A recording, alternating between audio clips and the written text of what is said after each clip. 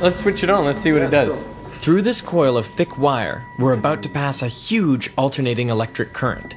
On top is a one kilogram aluminium plate. So we hear this noise. What's that noise? It's the vibration of the plate because it's vibrating at uh, two times the frequency of this si- of the, this one. Whoa! Whoa! How does it do that? Magical. To find out, I've come to the place where it all started the Royal Institution in London. This is the key to Faraday's magnetic lab.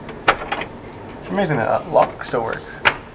From the 1870s onwards, it became a storeroom, which is why it survived, and it survived intact, all the joinery, giant electromagnet, uh, exactly the same as Faraday. Uh, So this left is it. exactly as Faraday would have had. That's right. Yep. In Faraday's time, it was known that electric current creates a magnetic field, but it remained an open question whether the reverse is possible, if a magnetic field could generate electric current. Faraday answered this question with his most famous apparatus. Faraday's electromagnetic induction ring, which is this. In August 1831, Faraday wrapped two coils of insulated wire around this iron ring. But in 1831, you could not go down to your local electrical hardware shop and ask for X hundred meters of insulated wire. You had to insulate the wire as you went, and so as you pushed and pulled the wire out of the ring, you had to insulate it. It takes 10 working days, which is a huge investment of time. But the investment paid off. When Faraday connected a battery to one of the coils, he saw a brief pulse of current in the other coil. And when he disconnected the battery, he saw a pulse of current in the other direction. He realized that current was induced in the second coil only when the magnetic field through it was changing.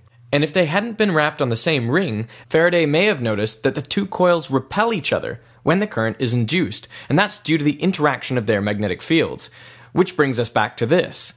Through the bottom coil, we are passing a huge electric current, 800 amps, which alternates in direction 900 times per second. This ensures there will always be a changing magnetic field above the coil. Instead of a second coil, we're using the aluminium plate, but the principle is the same.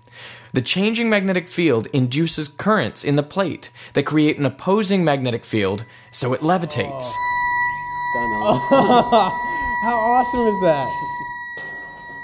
This current is not only good for levitating the plate, it can also make light bulbs glow. A gift. Oh, thank you.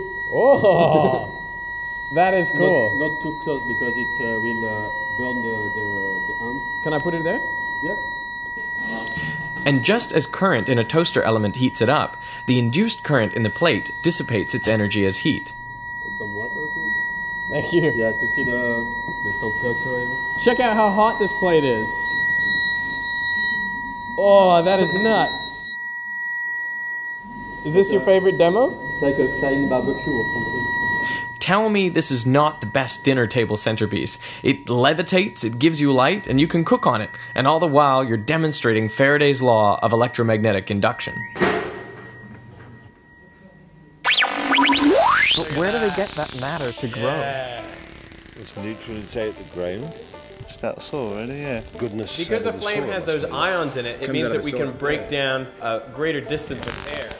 Goodness, There's greater goodness. conductivity. Why isn't there a big hole around the tree where it's taking out all the soil? it Does it say gradually that the soil has time to recover? You love